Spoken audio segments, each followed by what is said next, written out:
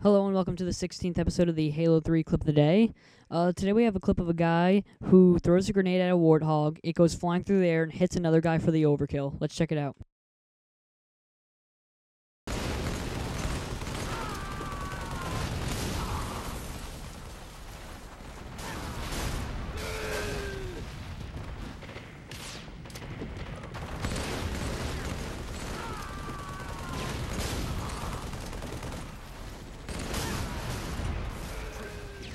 Overkill.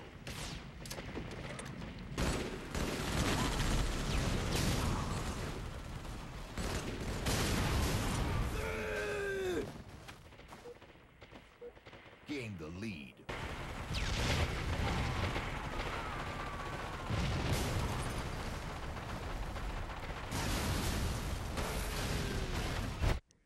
That clip you just saw was filmed by Raygex00.